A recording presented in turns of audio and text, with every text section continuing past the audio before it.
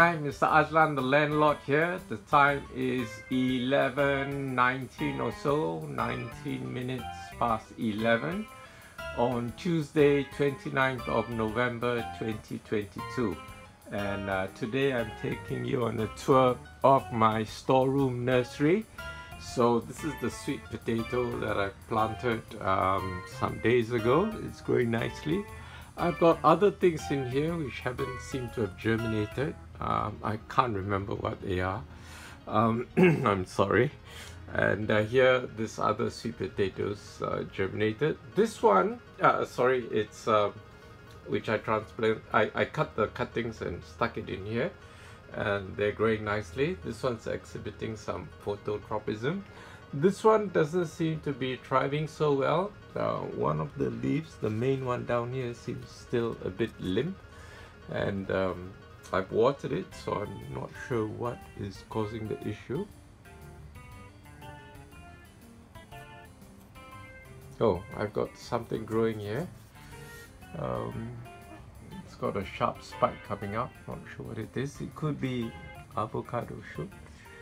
I've got an onion here. I've got more sweet potatoes here. This one's not doing so well but the leaf seems to be um, perking up okay. And I've got I think butternut butternut squash in here growing nicely and exhibiting some phototropism they're leading towards the light from the window. And here I've got chili and onion. Um, there's some uh, culantro at the side here. Okay here I've got some taro and sweet potatoes from this pot. They're doing quite well. This is where I got the four cuttings out of. And the chilies are quite high. Yeah. Doing nicely. The cilantro here, culantro sorry, is doing quite nicely. And there's another culantro here also doing quite nicely and another one there doing nicely. So there are two in this uh, planter and the chilies are getting quite high as well.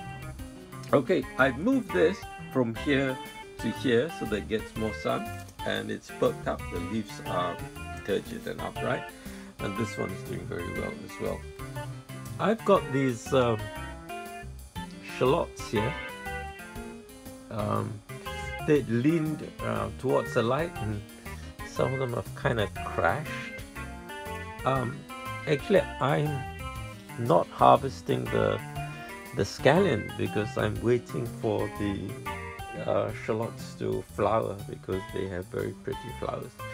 So I'll just wait until they flower and then they'll probably die out and I'll plant another round. Uh, I've got some lemon I think here and here.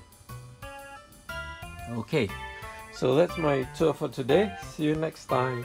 Bye!